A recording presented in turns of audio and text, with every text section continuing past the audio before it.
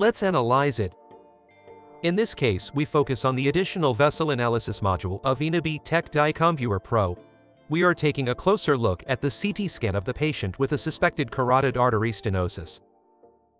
In order to have better picture of the vessel tree, the automatic algorithm removes the bone structures using native and contrasted series. Some facial bones have not been completely removed here, perhaps due to an error during scanning. It is possible that the patient's body position has changed, resulting in the scanning zones not matching. Let's use the scissors tool to cut the unnecessary part on the 3D model. In this case, we can see the area of local contraction of the lumen in the mouth of the left internal carotid artery. Let's have a closer look at the parameters of this artery. We put two points to specify the vessel's section of interest, and the program traces the central line automatically.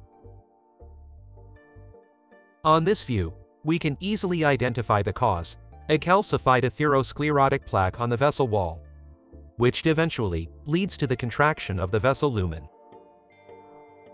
The red color marks the area that falls below the average value, which corresponds to the presence of a plaque. Let's move on and look at the diameter of the artery. The short diameter in this area is 1.8 millimeters, the long diameter is almost 2.6 millimeters. Such a difference in diameters is associated with a change in the shape of the vessel lumen. Amid the plaque formation, it becomes more flattened. Now we need to calculate the degree of stenosis using the NASCET formula.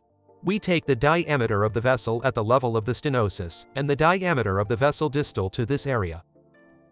Press the right mouse button and select Add Reference. This will be the reference slice that is used as the normal value to calculate the degree of stenosis. The percentage of stenosis is calculated automatically depending on the value of the vessel diameters in the reference and pathological areas. The automatic calculation of stenosis is carried out in two ways. The diameter stenosis. In this case, the value almost reaches 33% if a short diameter is used. And the area stenosis, which is around 47%.